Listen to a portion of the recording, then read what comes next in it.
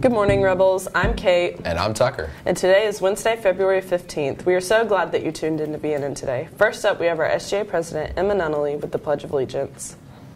Good morning, Rebels. Please stand for the pledge. I pledge allegiance to the flag of the United States of America and to the republic for which it stands, one nation under God, indivisible, with liberty and justice for all. Please pause for a moment of silence.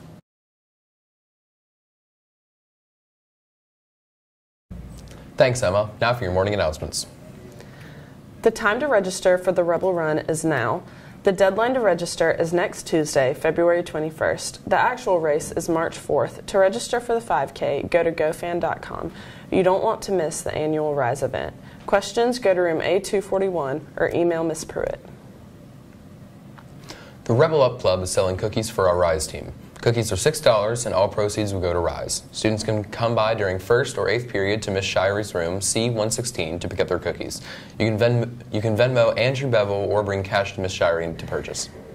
Congratulations to Grace Seymour for winning Tuesday trivia in the library. Please come by the library to claim your prize. Hope to see you in the library for next week's question. The VHHS Readers Advisory Group will meet Thursday in the library for their quarterly event. Library will be closed during the event lunches in order to the library closed during lunches in order to host this event. Please do not send anyone on a pass from study or lunch uh, Thursday tomorrow.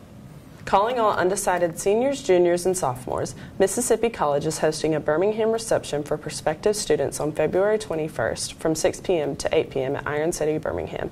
This event is best for applicants, undecided seniors, juniors, and sophomores, and any parents or friends who wish to attend. There will be delicious food, cookie fix, an opportunity to meet current Mississippi College students, and hear from the university's president. For more information and registration, please visit the link below.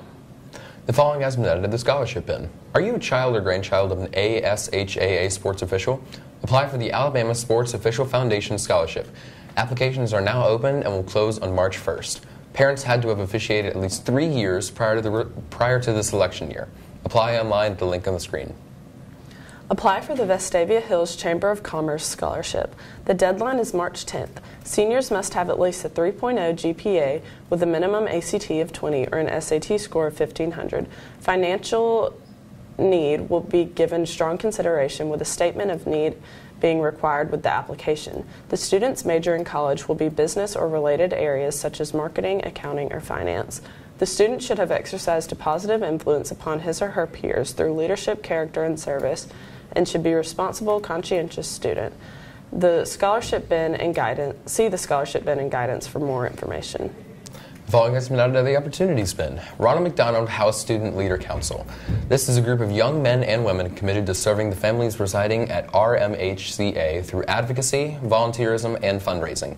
This opportunity is for sophomores and juniors. Please pick up an application in the guidance department. Deadline is April 15th.